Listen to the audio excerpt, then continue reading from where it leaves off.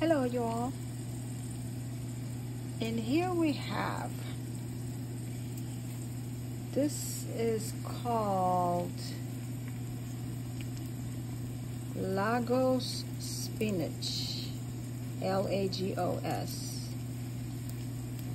Lagos spinach. And this is a type of hibiscus or hibiscus that provides a fruit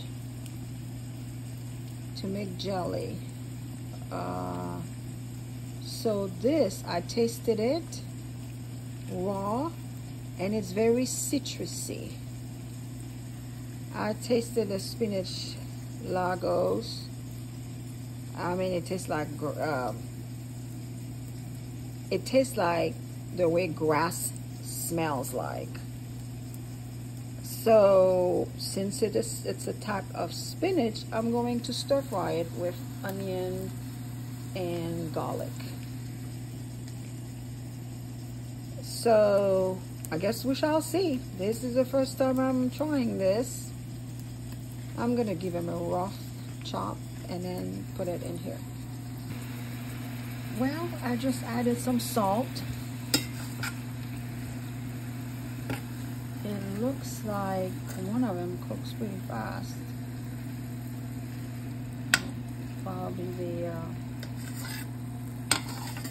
now the challenge with this is that, you know, you have to wash it one leaf at a time because of little friends. And it is probably actually a good sign that the little friends like to eat it because, you know, when you buy greens in the supermarket, they are so perfect. Little friends don't want them because you never see any holes in them.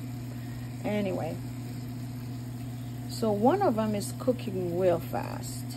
So, seems to be, well, I just tasted, I just tasted this one, uh, which is the um, hibiscus, hibiscus it's very sour. It's just like eating a piece of lemon.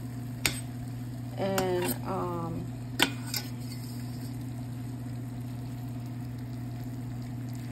well, but they are, and it was still, still kind of rough. I ate the hibiscus raw and it is, I could get used to it uh, but I wanted to stir fry and see what um, what we're gonna get. This is from the Lagos spinach. I don't know if they're gonna cook, but I figured why not? We don't know until we try. So that's the hibiscus that has that little red thing in the joint. Well, I think I'm going to cover it and let it do its thing for a while and see if they're going to get tender. All right. Oops.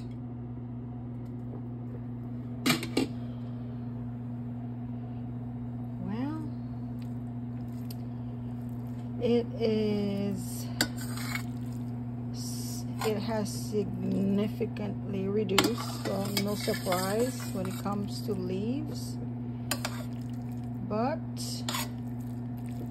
here it is. Lago spinach see this got tender yay. Lago spinach and